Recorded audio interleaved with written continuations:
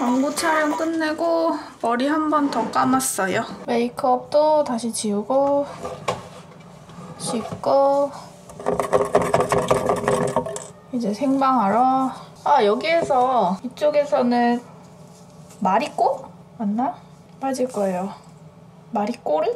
여기 이 제품 스킨 쓰는데 이게 에스테틱 라인이라 하더라고요. 이거 진짜 순하고 양도 많고 괜찮은 것 같아요. 여기에서는 에센스 병원 거 아이디 병원인가? 거기 거예요. 피부 스치듯이만 발라주고 오늘 하루 막 빠지를 향해 일단은 정돈을 한번 해주고 나중에 방송에서 세럼을 다시 발라야 되는데 일단은 건조하니까 정돈을 해줘야 돼요. 키엘 립밤 아 화장품 냉장고 사고 싶다. 여기서 머리도 말리고 준비를 하죠.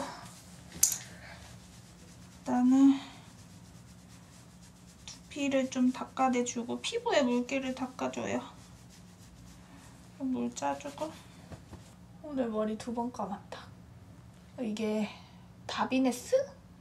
이렇게 좋다 하더라고요.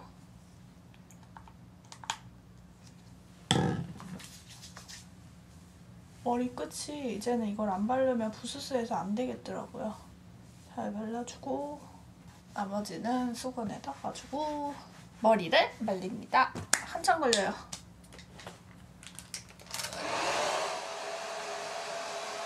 생방 20분 전 얼른 도시락 사왔어요.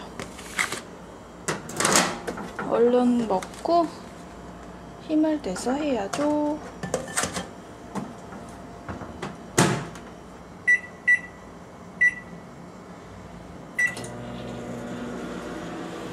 갈아입어야 돼요. 빨리 도시락 먹고 어, 손가락 이제 찢어졌다.